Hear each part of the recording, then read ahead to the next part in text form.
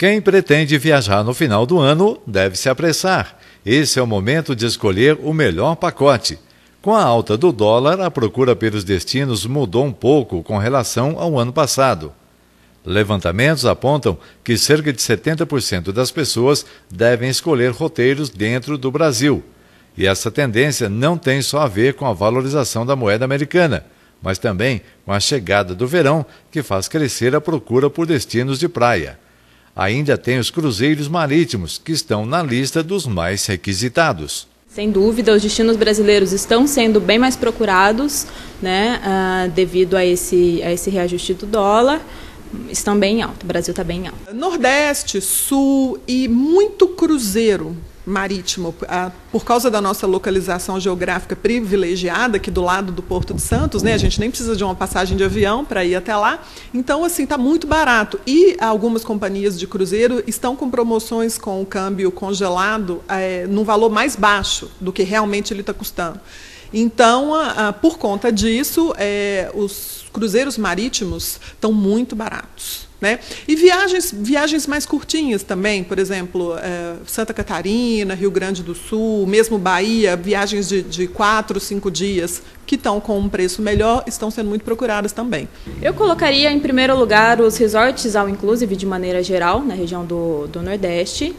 Em segundo, é, Porto de Galinhas. E terceiro, fugindo aí um pouquinho de praia, Serra Gaúcha. Apesar dessas questões relacionadas ao dólar, escolher um destino internacional nesse período não é impossível. De acordo com as agências de viagens, as companhias aéreas se baseiam na lei da oferta e procura.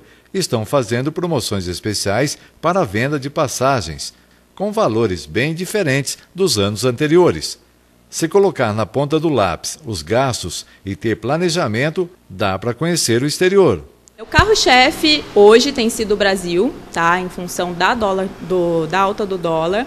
Porém, os pacotes para fora do país também estão bem procurados, porque devido a essa alta do dólar, houve uma redução no preço dos pacotes na tarifa em dólar. Então, quando convertidos ao, ao câmbio, né, não acabam sendo tão mais caros de, de como era até o ano passado, por exemplo. Muitas das pessoas não estão tendo a informação de que as viagens internacionais elas caíram de preço é, muito. Os preços assim praticamente despencaram por causa da questão da oferta e procura. Mesmo com o dólar muito alto, está mais barato é comprar uma passagem para o exterior agora do que na época do câmbio nos patamares normais. Estamos em novembro.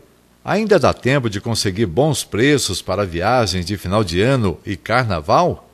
De acordo com as agências de viagens, sim, e ainda em passeios inesquecíveis.